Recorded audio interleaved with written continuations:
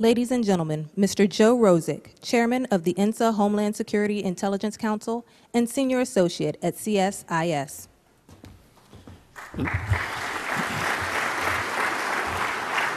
Good morning, and thanks for coming out in this rainy Washington morning.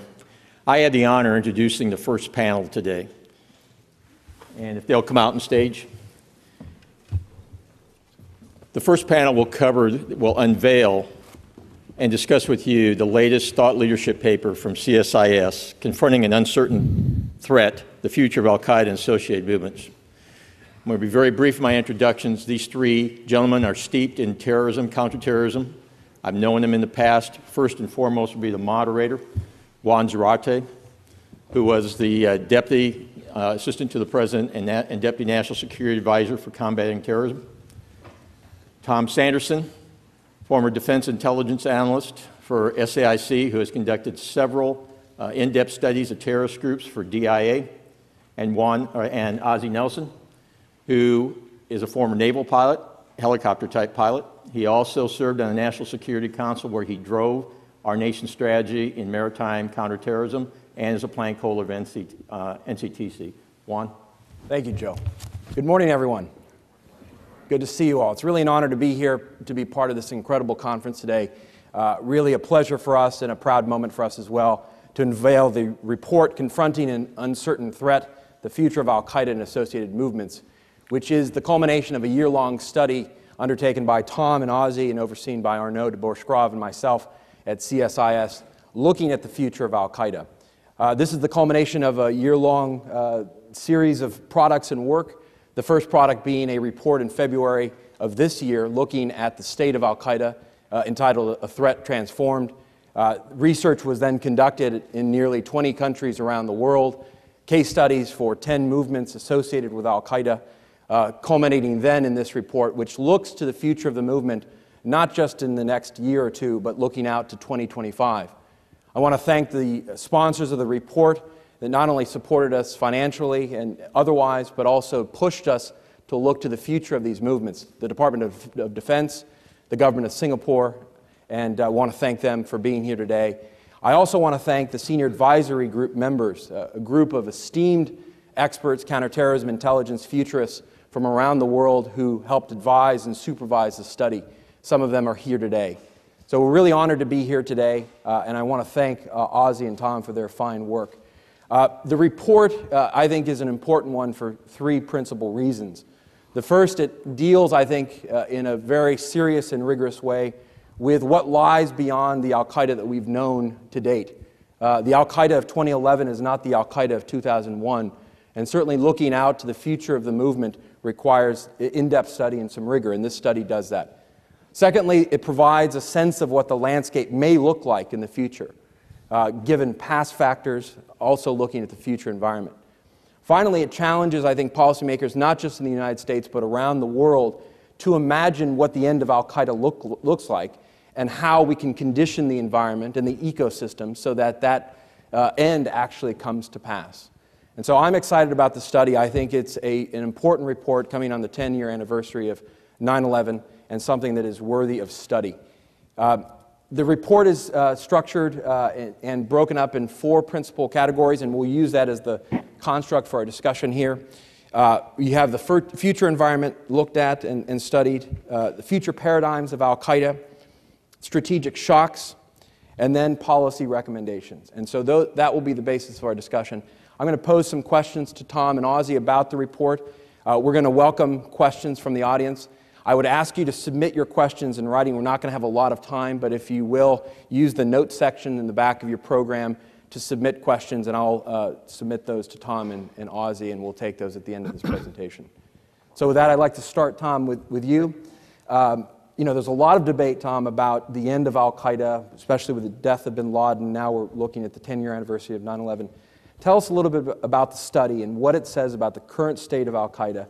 And tell us as well what the case study reviews told us about not just current state, but how this framed the future of Al Qaeda study. Absolutely, Juan. First, I'd like to thank you for all your tremendous work. You and Arnaud de Borchgrave, my boss, provided invaluable guidance and insight throughout the course of the, um, the study. And I'd also like to give a special thanks to David Gordon and to Ben Bodurian and all the research staff who really brought this all together. It was really quite a quite tremendous effort. One, uh, as the report's uh, title says, it is an uncertain threat. We've watched Al Qaeda transform from a fairly well defined hierarchical organization, then into a network of networks, and eventually into an ideologically driven movement. And that certainly contributes to the challenge of identifying and characterizing the threat in discrete terms. Al Qaeda and associated movements presents a complex challenge to all uh, in the U.S. and those who seek to confront it. Uh, we've seen in recent months, weeks, and even in days, senior Al Qaeda leaders, at least Al Qaeda core in Pakistan, being killed or captured. And many believe that we're seeing Al Qaeda core at a tipping point. And while that may be um, very encouraging, I think there's uh, still a lot to worry about, and we heard some of that from Secretary Napolitano. We have to be very mindful of some of the realities that we see out there. The Al Qaeda message was sown a long time ago that is very difficult to dislodge senior Al Qaeda associated groups, Al Shabaab in Somalia, Al Qaeda in the Islamic Maghreb, in Mali, in Algeria, Al Qaeda in the Arabian Peninsula, in Yemen, several other groups, Lashkar Taiba in Pakistan, all are very potent and very serious threats uh, and showing little sign of going away. In fact, I think a lot of them are well positioned uh, to persist or grow as threats. Furthermore, we have an uncomfortable uh, number of recent homegrown threats, something that Ozzie Nelson my colleague at CSIS has done a tremendous amount of work on, and we've seen that pop up with uncomfortable regularity over the past few months. so we do have this diminution of the threat of Al Qaeda core, but we have the affiliates and the homegrowns rising in their place. So if you take a look at that threat and look into the future environment, you see a number of problems that, or external factors to Al Qaeda that could exacerbate the challenge that we see today. Among those are demographics, resource challenges, changes in the global balance of power, innovations in technology, interconnectivity, uh, challenges posed by identity, and of course, governance.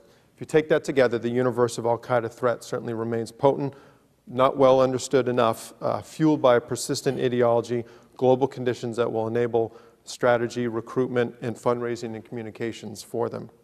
So I would say there are some positives, but quite a few negatives that remain. Second half of your question dealt with the case studies. Now, we conducted case studies on Al Qaeda core, on the homegrown threat, and then on a series of Al Qaeda affiliated groups. And in order to look forward into the future, into 2025, it's a tremendous challenge. But you can do that and use one of the few uh, tools at hand, and that is to look historically at some of the factors that impacted the trajectories of Al Qaeda and other terror groups. So, what we did is we looked at factors such as charismatic leadership, foreign uh, troop presence, the uh, sponsorship from outside groups, safe havens. And then, in order to project in the future with some accuracy, we had to carry those factors forward in order to, excuse me, in order to help define and make our five paradigms or five scenarios in the future a reality. So that's why we did the case studies. Contributing to that or complementing our effort to get a real sense of what's happening presently and in the future uh, is the field work that we did. Ozzie and I, uh, Dave Gordon and Zach Fellman went to um, Europe, spent a month in Africa, traveling across six countries, Southeast Asia, South Asia, Central Asia, and Russia, and Western China and Xinjiang, to look at that. So taken together, we took those historical factors, the future paradigms, define those factors going forward, the field work, um, and the current threat assessment of Al Qaeda, and that's how we came up with what we see as the threat today. Perfect. Tremendous amount of work. Ozzie, a core part of the study is looking at potential paradigms for the evolution of Al Qaeda and associated movements. Can you talk a little bit about what those paradigms look like uh, and what the study projects in terms of potentials for the future of Al Qaeda? Sure. Thank you, Juan. And uh, again, thanks to all my colleagues who uh, helped uh, participate in, in, in, on this study. Um, we're really happy with how it turned out. Um, we obviously there's an infinite number of possibilities of how Al Qaeda might look in the future. Our goal um, was to put a couple a sample set out there for policymakers, for analysts to resp- react to, to say, oh, that's never going to happen, or if that could happen, but maybe in a different time or a different place and different location. And obviously, extrapolating from where we are now in history to where we may be in 2025 is a really poor predictor, but you have to base it somewhere, and that's where we kind of started with Al Qaeda core and, and, and the construct that Tom laid out. So we put ourselves in 2025, and we looked around and said, what could Al Qaeda look like? The first scenario is one we call it the reemergence, uh, reemergence of Al Qaeda core.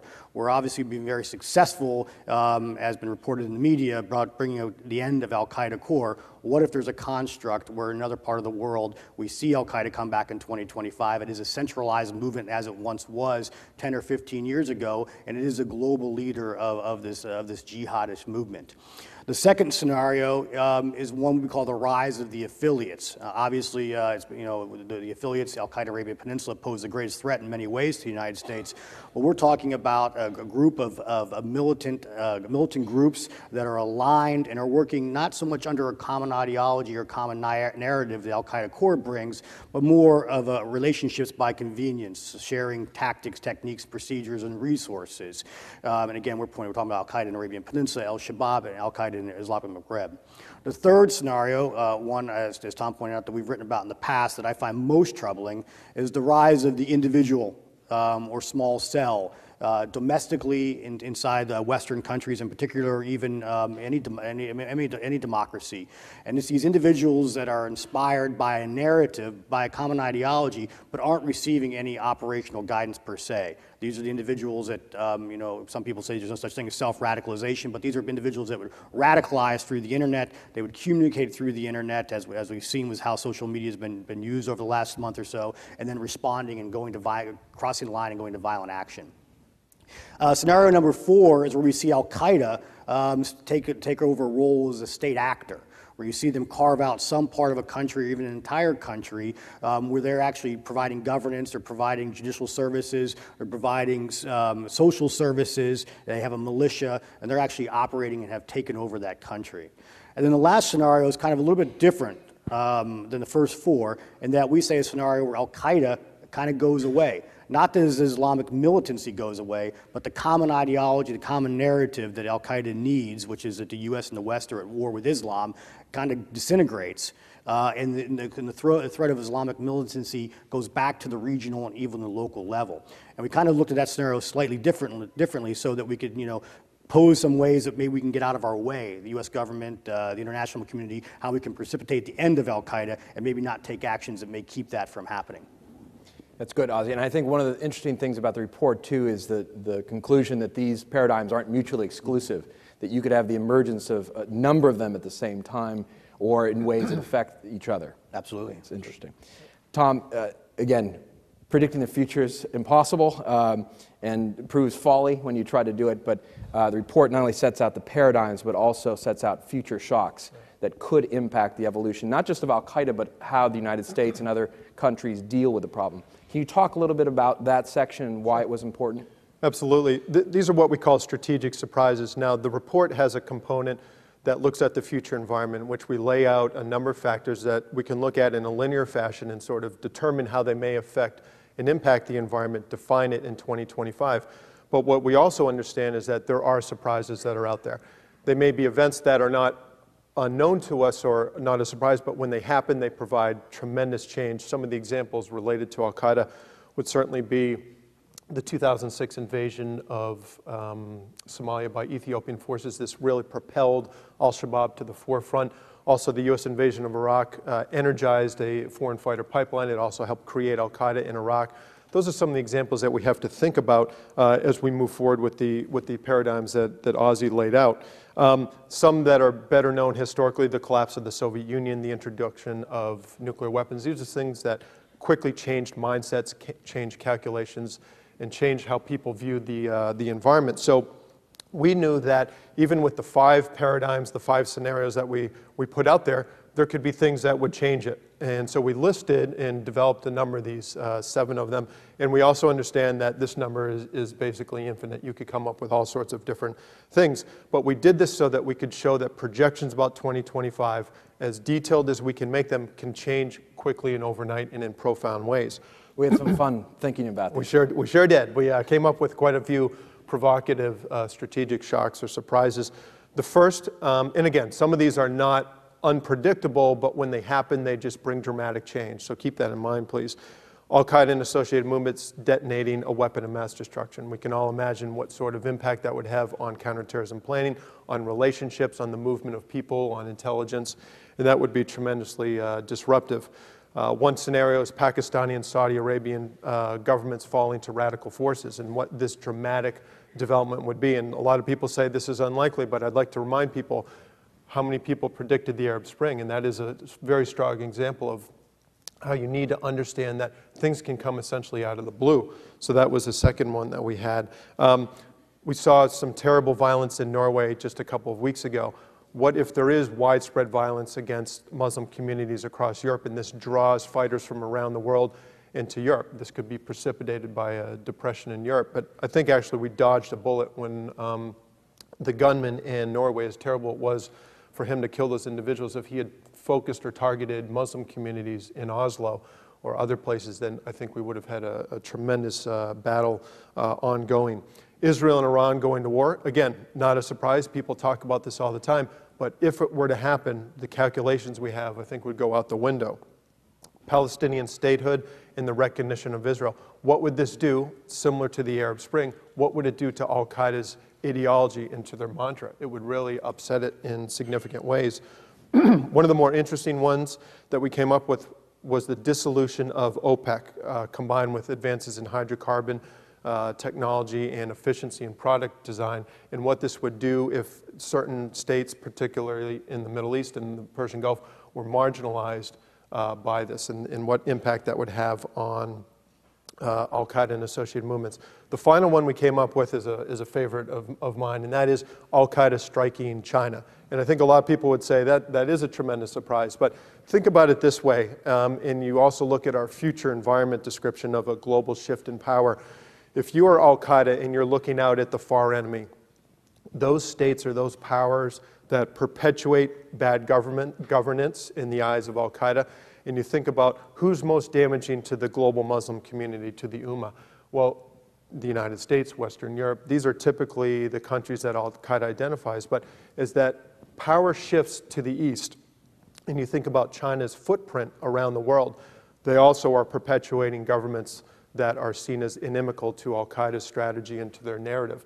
And not only that, do you have, um, you have China in western uh, province of Xinjiang actually making, it, making life pretty difficult to Muslim communities and to the, the, known as the Uyghurs out there. And I went out there and went to the border with Tajikistan, looked at the communities out there, and there's a tremendous amount of discord. So if you're Al Qaeda and you're thinking about who is most difficult for you in the future, it could in fact be China because not only does it combine the issue of supporting apostate governments in the Middle East, but it's also killing or imprisoning Muslims at home.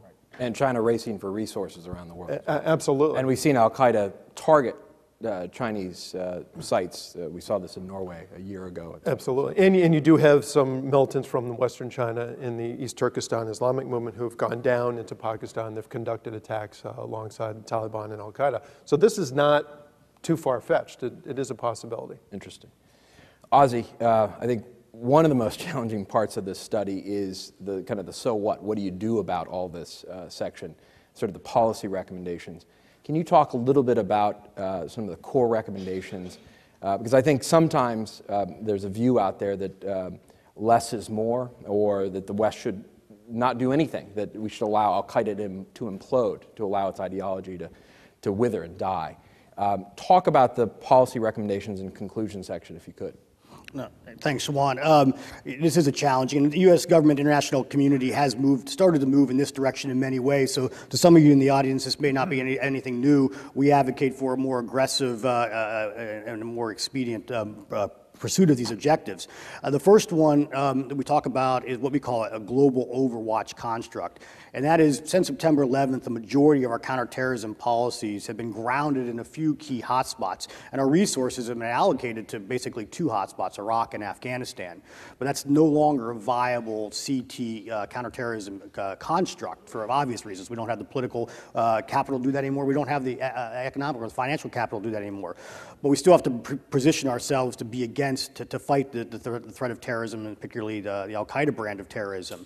And what we call for is, uh, is an increase of, uh, of these resources um, outside of those areas. And so the U.S. government and its international partners establish capabilities um, well beyond the trouble spots to, to anticipate where that might be. And this doesn't mean necessarily building capabilities in countries. It means enhancing our international partnerships and our relationships, law enforcement constructs, civil military relationships, um, and, and even the intelligence and, and the pure military relationships as well, so that we're proactive and we're ahead of the, ahead of the threat. One of the things that's been uh, uh, our policy, counterterrorism policies throughout our history, arguably, have been plagued by is that we get full-fledged commitment of resources after the fact. Um, what we need to do is commit these resources earlier on in the front, in front of the front of the uh, threat, and, and, with the theory that over time this will, will cost us less money and we'll be able to keep the threats from actually uh, metastasizing themselves. Um, and so we, that's the overarching construct. And then we go and we note that there's some of the common themes from all of the scenarios that we pick out that the U.S. government, and, again, the international community have to focus on. Um, and these are things, no matter how Al Qaeda moves forward, that are, are, so key to ensuring the ultimate demise of the organization. And the first is directed action against the leadership leadership remains incredibly important to any organization. And certainly leaderships can be replenished, but if you're spending time trying to replenish your leadership, you're not spending time planning and conducting attacks. And if you look at bin Laden, one of the things that we don't know, we don't know if Al Qaeda is actually has achieved the status of a self sustaining movement yet, or if it's actually going to fail with, with, the, with the fall of his cult of personality. And that's something we're going to have to see going forward. The second is the issue of networking. Obviously, a lot of the militants that we face now um, developed relationships primarily in Afghanistan during the Soviet war. Where else might these relationships and this networking being created? Is it happening in Yemen right now? Is it happening in Somalia? And these are the individuals that are going to get the operational experience that perhaps 10 or 15 or 20 years from now can lead that resurgent Al Qaeda, uh, resurgent Al Qaeda core that we mentioned earlier on. Um, the, the, third issue that we talk about is the issue of safe havens. This is not a new issue to the U.S. government and the international community, but not enough is being done. And we're not just talking about physical safe havens. We're talking about micro havens, such as refugee camps. Micro, we're talking about virtual safe havens, such as the internet. Uh, we have to be much more aggressive uh, and assertive in what we're doing to eliminate uh, militant activity in, in, those, in those areas. And then lastly, and arguably most importantly, is, is what the United States government has struggled with, I think. Um, and I thought that was one of the ironic pieces out of the Abbottabad intelligence was that bin Laden also thought that they were losing the strategic communication campaign, and the whole time the U.S. government thinks that they're losing. So um, somebody's got to be winning. But over at the end of time, the al-Qaeda movement is inspired by the narrative. The toxic narrative is the fuel for this larger movement. Um, and we need to continue to place our resources against that to eliminate that uh, the U.S. and the West is at war with Islam uh, in order once and for all uh, to remove the fuel. And by removing that fuel, that larger narrative that unites all these disparate groups, it'll push the threat back down to the regional, back down to the local level, um, ultimately. And that's the goal with, this, with, this, with that kind of construct. Very good. That's a great overview. Thank you both. Now we're going to open it up for questions. Rob, we've got a, a couple handwritten. If you have, uh, we've got about 10 minutes, I think. So if you have any more, uh, Rob can, can take this. Let, let me just take the moderator's prerogative and ask one. Uh, one criticism of this report could be somebody who doesn't read it say, look, you're arguing for perpetual war here. You're assuming that Al Qaeda will actually exist, that its ideology will have resonance in 2025. So is, it, is this a prescription for perpetual war?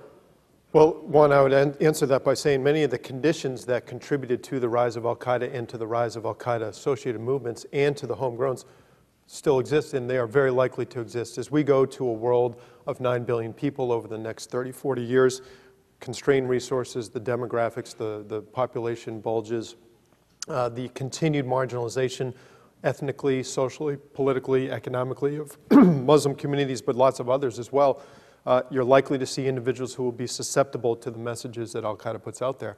And I think that's a reality, no doubt about it. I think it's great, and we should recognize the, the um, advances that we've made against uh, this group and its network, but nonetheless, so many of those factors will persist. Good. All right, Ozzie, I've got a specific question for you from the audience. uh, can you expand on the concern about domestic uh, U.S. citizens who embrace radical violent teaching by uh, by Muslim leaders and others uh, in the U- U.S., similar to the Fort Hood case. What more can be done uh, to uh, monitor and to prevent uh, such uh, activities? No, it's a great question. I think that the issue of domestic extremism, radicalization, is going to challenge the United States and challenge our, our discussion about civil liberties and privacy and security like no other issue has. Because that's the crux of the issue, um, is really that balance. And it's, it makes the law enforcement community's job almost impossible because of this, you know, some, an organization like the FBI has to protect the individual rights, you know, protect our civil rights, but at the same time, they also have the mission of preventing attacks, terrorist attacks inside the United States. So if they wait too long to take action, they fail in their mission. If they get too early in the, in the cycle, then there's people say they were entrapped and you, the FBI was, you know, they wouldn't have conducted these attacks. It very difficult. And what ultimately you're trying to do is you have an individual who's radicalizing, who's online and getting this content, and he takes that jump from rhetoric to violent action. And the law enforcement community has to determine when that actually is going to happen. And it's almost impossible. So some of the things that we're going to have to do is basically twofold. One is whatever we, resources we think that we're putting against the internet, it's simply not enough. And it doesn't mean, you know, it doesn't necessarily mean taking down websites and violating people's civil rights. That's not what it means. It means patrolling the internet, eh, you know, and treating the internet as a space that's being to use to incite violence and to get people to cross that line from rhetoric to violent action. And we have to understand that's what it's being used from. And then the other thing we need to focus on too is these, these intermediaries, these individuals who may be disenfranchised for whatever reason. They use the internet to find like-minded individuals to further become disenfranchised. But ultimately, what's required is for an external actor to come in and get them to cross that line from violent, from rhetoric to violent action. And that's the individual like Anwar al-Awlaki, um, U.S. citizen, very uh, policy problem for the United States. What do you do with the Anwar al-Awlakis of the world? We need to have a very clear and distinct policy about those types of individuals that are getting these Americans to cross that line to violence. And I think there's some very interesting studies in a way, places like- MIT and elsewhere, looking at the role of influencers in social media and, and online and how that, that influences people's behavior and mobilizes individuals. Um, I've got a couple questions here that are related. Let me try to fuse them. Um, this, this, this part asks about uh, the study focusing on Al Qaeda, obviously, and Sunni radical organizations. Did you also consider other non Sunni groups uh, such as Hezbollah? And then, related to that, uh, a question about, uh, you know, as the CT threat has changed, uh, what groups still present a direct uh, threat to the United States uh, as we look at the landscape? Okay. Good. Well, um, I'll give my own, own answer, and, and, uh, and then Ozzie can, can uh, add his. We had limited resources, limited scope, and limited time. Despite having a superb uh, advisor group and, and research team, can only look at certain issues. And that was uh, the, the topic we decided was Al-Qaeda and associated movements, and that is a huge group of uh, individuals and groups to look at. Um, And so by that- that, again, to reiterate, it's not just the Al Qaeda core, it's also Yeah. the inspired individuals and- Sure. themselves. AQAP in Yemen, Jamaat Islamiyah in Indonesia, Lashkar Taiba in Pakistan, AQI in Iraq. Um, lots of groups, and that included a lot of travel. So we couldn't take the entire universe of, uh, of terrorism that's out there. But having said that, um, you know, we recognize Hezbollah as a serious threat, and also secular terrorism around the world is also a very significant threat. Um, as far as groups that do uh, continue to serve as a threat, that was the second part of the Right. question. There's no doubt about it that AQAP, Al Qaeda in the Arabian Peninsula, uh, is a serious threat. Many people think it's more significant than Al Qaeda core. They were able to get an individual on an airplane into the United States who nearly blew himself up and over 200 passengers, December 25th, 2009. They tried to, and with the thanks, uh, thanks to the help of the Saudi intelligence service, uh, blew two of their uh, plans to send toner cartridges with bombs in them into aircraft over the United States. So a group like that is very significant. Al Qaeda in Iraq still doing a tremendous amount of uh, mayhem, and then Al Shabaab in Somalia. But I, I think Ozzie could point to a few others as well. No, thanks. Uh, you know, one, the group that troubles me the most, obviously Al Qaeda Arabian Peninsula, as Tom is, is a very direct threat to the United States, but the one I think ultimately has the most power to change the, the, the map uh, geopolitically is Lashkar-e-Taiba. Uh, in Pakistan, this organization that Juan and I talked about, because they have the, the ability to basically bring two nation states to nuclear confrontation, um, given um, that they're, and they're highly capable, they're very skilled, and they have the support, arguably, of a nation state. Um, I find that particularly troubling. Inside the United States, I think it's important as we tackle this issue of, of, this, of, of this Islamist militancy or the, this uh, embrace of the Al Qaeda ideology inside the United States, we look at extremism in general. One of the scenarios that I use, I ask individuals, when was the last time there was a domestic act of terrorism using an, an act of terrorism using an airplane inside the United States? Um, and, you know, people say, well, it was 9 11. Well, actually, in my opinion, it was Joseph Stack, the individual who stole, well, Brendan DeCessna, equipped it to explode, crashed it into the IRS building, and killed two federal employees. Now, that hasn't been uh, determined to be an act of terrorism. I think that it is. If he had been a, a, an Arab male or a Muslim, we would be viewing that incident very, very differently. So the issue of extremism inside the United States is, I find, uh, particularly problematic. One, I would just add one thing. I see my uh, former boss, Steve Rader, here, and we looked at WMD terrorism starting in 1998 before the Defense Intelligence Agency. And the three case studies that we looked at were not uh, Islamist terrorism. They were uh, the Bhagwan Sri Rajneesh cult that used uh, salmonella in Oregon, uh, the Aum Shinrikyo cult in Japan, and then the Sri Lankan, uh, the Tamil Tigers' use of chlorine gas against the Sri Lankan armed forces. So there is a good indicator that terrorism goes well beyond Al Qaeda and its associated movements. Right. And in the future environment, a blending of uh, these threats could be a huge threat and problem. Um, I think we only have a couple minutes left. Um, there's one very specific question here about uh, specific types of weapons, radio frequency weapons. I want to expand it just quickly, get a 10 second, 15 second answer from each of you about the role of technology uh, in the future and impacting Al Qaeda uh, and the study. Uh, how, did, how did you incorporate technology into this? I mean, t- t- well, well, well, two issues. First, there's widespread, um, you know, acknowledgement of the, of the role of inter- social media and, the internet. Um, again, it is, it is changing faster than our policy and our laws can, and our senior leaders still, I don't think, understand and comprehend the internet and the power of the internet and social media like the digital natives who have grown up with it. And that's something that we have to change. And the second, which we touch on a little bit, and, and, and uh, Tom just did as well, is the issue of the WMD. This technology, particularly as it relates to biological weapons, is now widely available on the internet. It empowers the individual to take action for whatever cause they may One, technology, as we all know, is neutral. The good guys and the bad guys can use it. And I think that we're putting power out there that individuals can take up, as Hank Crumpton says, and give them the, the power that only states had in the past. And I think that's dangerous, and I think uh, that individuals can manipulate that te- technology faster than we can. Improvise explosive devices. Think about how quickly insurgents in Iraq were able to modify those and how slow and how long the response was by the United States to counter that. So I think actually technology is often to the advantage of terrorists before it is to the United States or those confronting it. Fantastic. Um, I'll just note for the audience and for folks who may be watching on TV that the, uh, there's a text box, and actually some very good text box in here on different issues, terrorist financing. But there's one on the new social media on AQAM Future on page 22. And then finally, uh, there was a, a final question on uh, the impact of the Arab Spring on AQAM. Uh, we don't have time for it, but I will uh, point you to another text box on page 8 uh, and 9 as well as to an article that Dave Gordon and I uh, co wrote in the Washington Quarterly on that topic. So, uh, with that, I want to thank you all. I want to thank the audience and everyone for bearing with us on the unveiling of this very important report. Again, confronting an uncertain threat, the future of Al Qaeda and associated movements looking out to 2025. Tom, Ozzie, research team, everybody involved, I want to thank you again. Thanks to the sponsors. Thank you very much. Thank you.